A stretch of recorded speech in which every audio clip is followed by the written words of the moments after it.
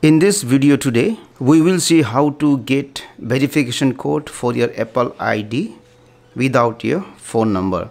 Now if you want to add your Apple ID to another device, you have to enter a verification code that you will receive for your Apple ID.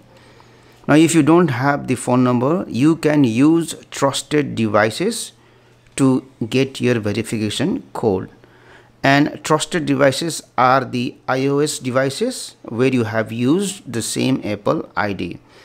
Now I have this iPad as my trusted device. So if I want to receive the verification code, I will go to settings here. I will tap on the name here, go to password and security. Now if you are asked to enter the password of your Apple ID, you need to enter here. Now here I can see trusted phone numbers and if you see at the bottom here, you can see there is an option here, get verification code tap on it and then you will receive this verification code that you can use if you want to add your Apple ID to another device. Thank you for watching this video. Please like and comment on this video if you found it helpful.